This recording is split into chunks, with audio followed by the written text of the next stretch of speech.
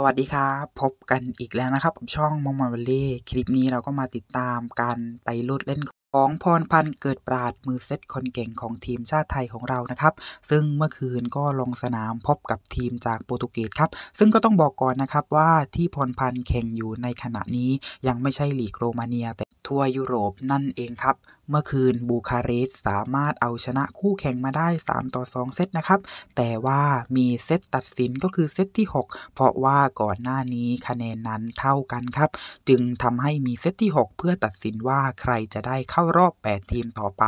แล้วผลปรากฏว่าในเซตที่ 6 ทีมบูคาเรสต์เป็นผู้พ่ายไปนะครับทำให้คู่แข่งได้ผ่านเข้ารอบ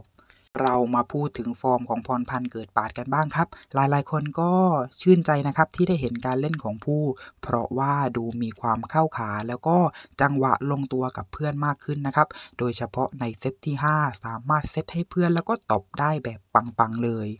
ก็ขอเป็นกำลังใจให้ผู้ในการปรับจูนกับเพื่อนๆนะครับ คิดว่าเล่นไปเรื่อยๆ ก็ยิ่งดีขึ้นเรื่อยๆ แน่นอนครับ แต่มีสิ่งหนึ่งที่แน่นอนว่าการที่สาวไทยได้ไปเล่นนั้น ก็ย่อมพาเรตติ้งพุ่งอยู่แล้วนะครับ เมื่อคืนยอดชมไลฟ์สดจากในเพจบูคาเรสต์พุ่งไปหลักหลายพันเลยครับ ประมาณ 5,000 กว่าเลย ซึ่งในก่อนหน้านี้แน่นอนนะครับว่าตัวเลขไม่เยอะขนาดนี้แน่นอน ซึ่งสิ่งนี้น่าจะเป็นสิ่งที่ทำให้ลีกโรมาเนีย หรือว่าบูคาเรสต์เอง เขาก็น่าจะชอบและพอใจมากๆ แน่นอนครับ แน่นอนอยู่แล้วนะครับสาวไทยของเราสร้างสีสันเรียกเรตติ้งสุดปังอยู่แล้วครับผู้